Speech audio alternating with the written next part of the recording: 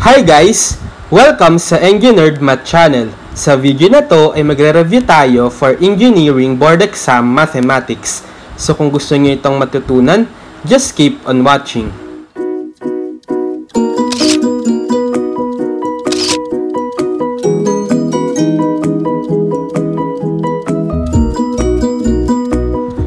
Okay, so this time ay magre-review ulit tayo for Engineering Board Exam Mathematics which is Calculator Techniques Part 17. So, dito sa Calculator Techniques Part 17, ang particular topic sa math na i-discuss ko is about Laplace Transform.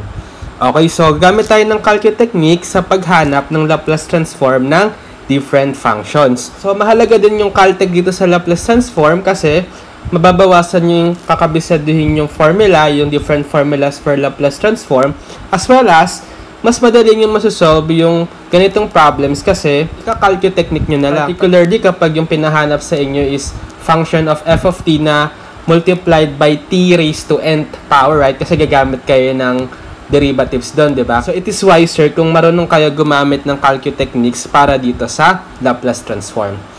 Pero bago tayo mag-solve ng examples ay isa-shoutout ko lang yung isa sa aking subscribers na si Joren Garcia. So hi Joren, shoutout sa iyo. Maraming salamat sa support at panonood sa aking mga videos and God bless sa iyong studies. Okay? So start na tayo. Let's start with question number 1. Find the Laplace transform of f of t is equal to e raised to negative 2t. So actually, madali lang to kung kabisado natin yung Laplace transform ng e raised to 80. Okay, pero sige, gagamitin natin siya ng calcu techniques. So, ang gagamitin natin calcu techniques is yung concept or formula kung paano hanapin yung Laplace transform ng isang function. So, di ba meron tayong formula na Laplace transform ng f of t or capital F of s is equal sa integral ng e raised to negative st f of t dt from 0 to infinity. Okay, so ang gagawin natin ngayon dito is ika-calculate natin yung Laplace transform using this integral. So, papalit natin dito sa f of t yung mismong given nating f of t. And for this problem, it is equal to e raised to negative 2t, right?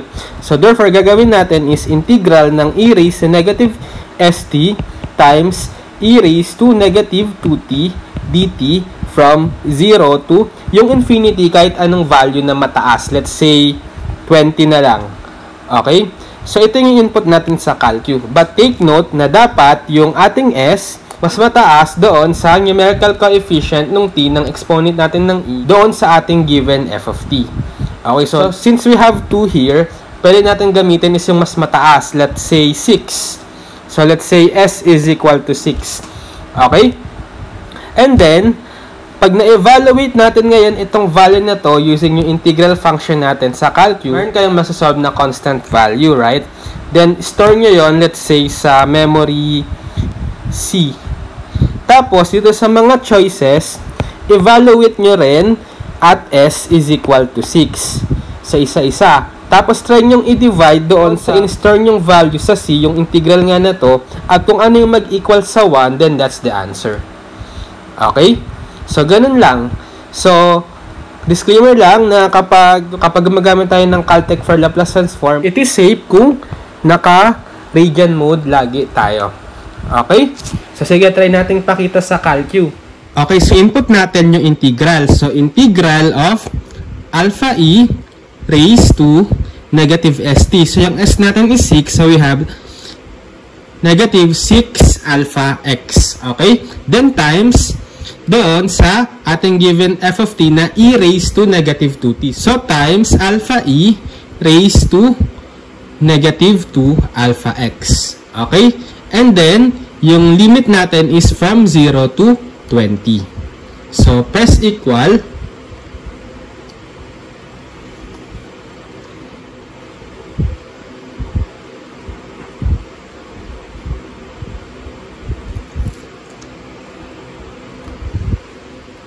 So, medyo matagal talaga siya kapag gumagamit tayo ng Calcutech for Laplace transform using yung integral definition nito.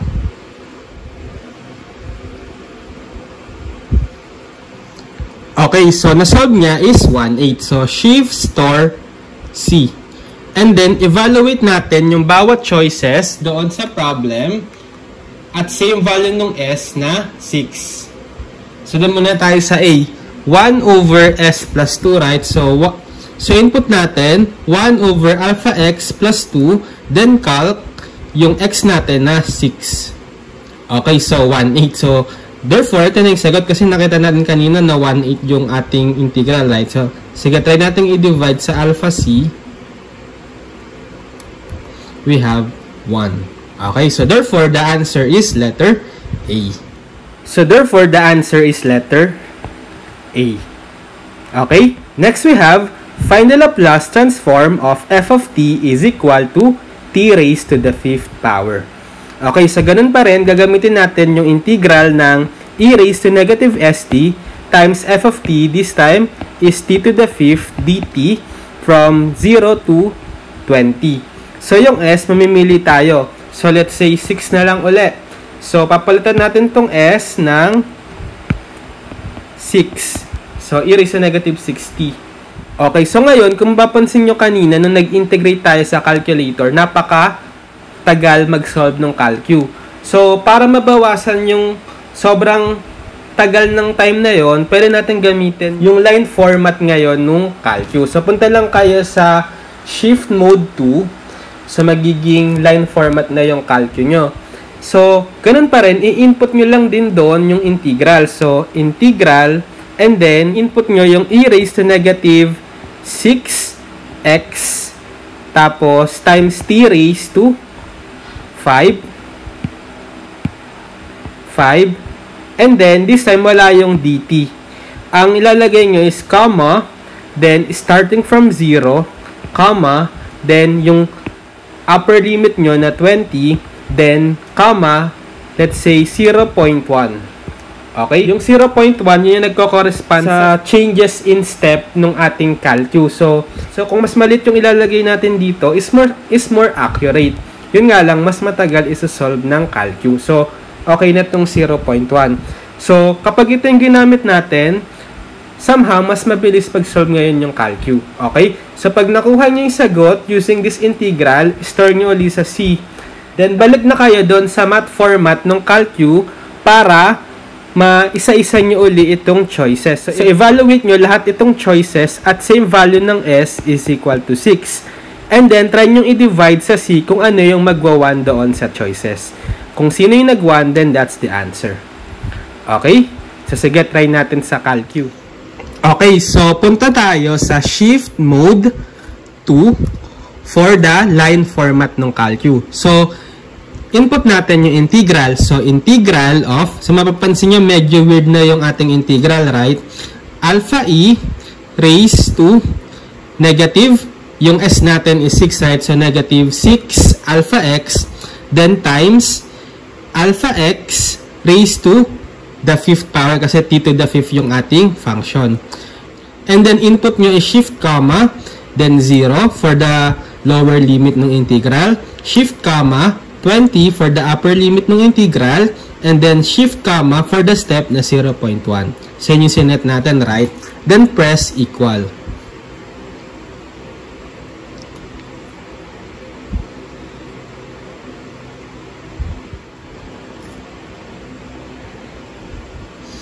Okay, so store natin yung nasolve niyang value sa C. Shift store C.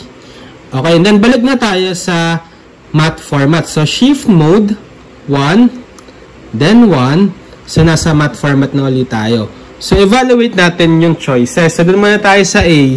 120 over S to the 6. So alpha raised to the 6.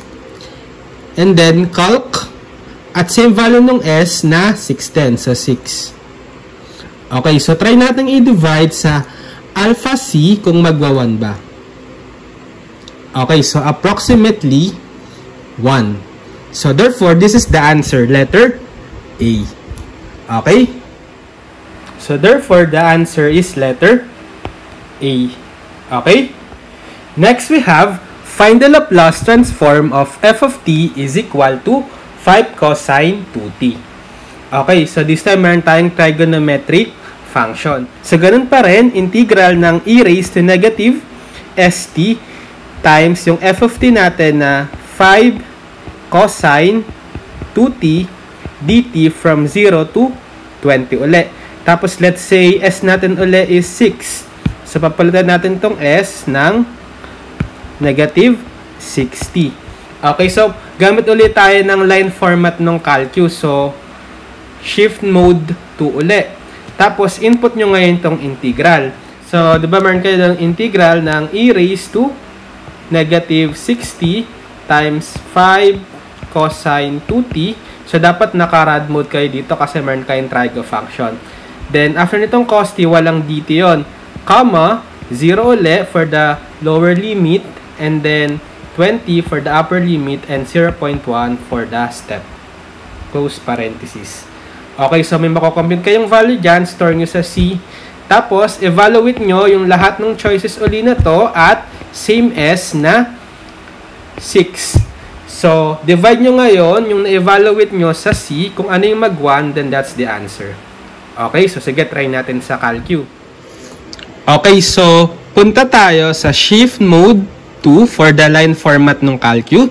And then, input natin yung integral. So, this time, integral of alpha e raised to negative 6 alpha x times 5 cosine 2 alpha x then shift comma 0 shift comma 20 shift comma 0.1 then close parenthesis equals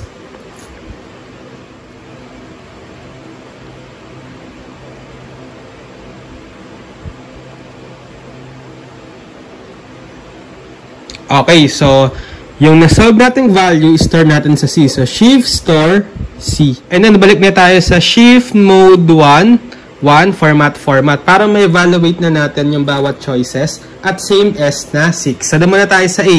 Yung A is 10 over S squared plus 4. So, input natin 10 over alpha x squared plus 4. Then, evaluate natin at x na 6. Okay, so try natin i-divide sa alpha c kung magwa 1. Okay, so malayo. So therefore, punta tayo sa B. Yung B is 5s over s squared plus 4. So input natin, 5 alpha x over alpha x squared plus 4. Then, calc at same s or x na 6 pa rin. And then, try natin i-divide sa alpha c kung magwa 1. Okay, so approximately 1. So therefore, the answer is letter B. Okay? So therefore, the answer is letter B. Okay? Next, find the Laplace transform of f of t is equal to 2 sinh 5t. So, hyperbolic sign yung function natin. So, ganun pa rin. Line format pa rin ng calcu. So, input nyo is integral ng e raised to negative st. So, let's say 6 uli yung s. So, negative 60 tayo times quantity 2 sinh 5t and then comma 0 for the lower limit, comma, 20 for the upper limit, and 0.1 for the step. Okay? So, yung masasolve nyo ngayon dito is store nyo sa C, and then evaluate nyo each choices sa same value nung S na 6, then try nyo i-divide sa C, then kung anong mag-equal sa 1 dun sa mga choices ay yun yung answer. Okay, so sige, try natin. So, punta tayo sa shift mode 2 para sa line format ng calcu, input natin yung integral. So, integral ng alpha e raised to negative 6 alpha x times 2 sinh 5t. So, pindutin nyo itong hype, piliin nyo yung sinh na 1, and then input nyo yung 5 alpha x for 5t. Okay, and then shift comma 0, shift comma 20, shift comma 0.1 close parenthesis equals.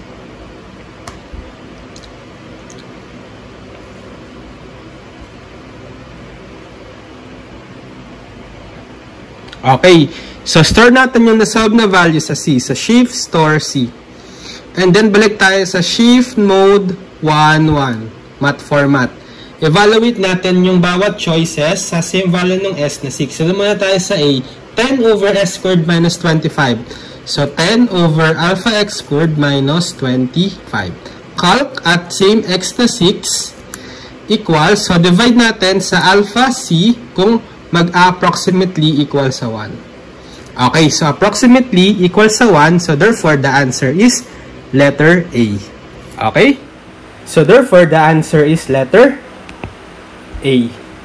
Okay? Next we have find the Laplace transform of f of t is equal to t squared e raised to 2t cosine 2t. Okay, so this time, ito yung mga example ng function natin na mahalagang i-calculate na lang natin. Kasi kung mapapansin nyo, meron kang t squared, tapos e raised to 2t, tsaka cosine 2t. So, komplikado. So, mas madali kapag kinalculate. So, ganun pa rin, punta tayo sa line format ng calcu, then evaluate natin yung integral ng this time e raised to negative st. So, 6 pa rin kasi yung exponent naman natin dito ng e, which is 2, is mas mababa pa rin doon sa 6. So, lagi yung tatandaan nyo na yung choice nyo nung s, dapat mas mataas. Okay, so therefore, we have e raised to negative 6t times itong function na to. So, t squared e raised to 2t cosine 2t. And then, comma, 0 for the lower limit, comma, 20 for the upper limit, and 0.1 for the step. Okay, so kung ano masasolve nyo dito, store nyo ulit sa C, and then kung mapapansin nyo dito sa mga choices, komplikado na yung ating mga choices kasi complicated na nga rin itong ating f of t. So, ganun pa rin, evaluate nyo itong choice sa same value ng s na 6. And then, kung anong mag-equal sa 1 kapag dinivide nyo sa C, then that's the answer. Okay, so sige, try natin sa calcu. Okay, so punta ulit tayo sa shift mode 2 for the line format ng calcu. Then input natin yung integral. Integral ng alpha e raised to negative 6 alpha x and then yung function natin. So alpha x raised to the second power then times alpha e raised to 2 alpha x then yung cosine 2 alpha x and then shift comma for the lower limit na 0, shift comma for the upper limit na 20, shift comma for the step na 0.1, close parenthesis, equals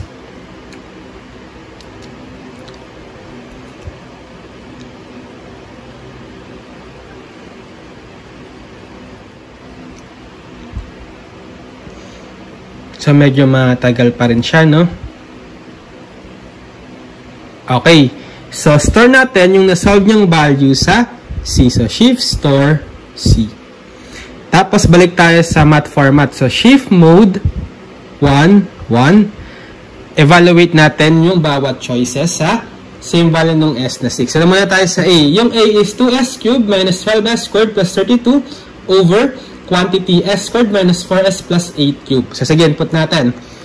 2 alpha x raised to the third minus 12 alpha x squared plus 32 over quantity alpha x squared minus 4 alpha x plus 8 then raised to the third power.